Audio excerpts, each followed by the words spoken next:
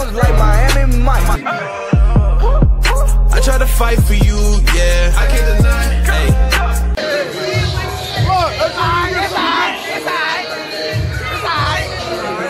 You do it at Diamond Empire.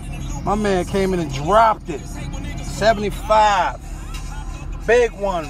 Yo, this Freeway Rick Ross, and I'm riding with my man, Miami Mike, Palm Tree. I want to thank my dad. I want to thank my OG Miami Mike, Palm Tree Entertainment. You know what I'm saying? My nigga, my nigga been had a million dollars. My nigga been real. Been real. Y'all niggas ain't got no money. Let me tell y'all something, man. I was 14 years old. This nigga showed me $4 million cash. He told me I was going to have more money than him. I ain't believe that shit. Now I'm worth 30 million. Come Correct, man. Shout out my CEO, CEO Miami Music, man. I love you, man. I appreciate you, man, for standing behind me 100.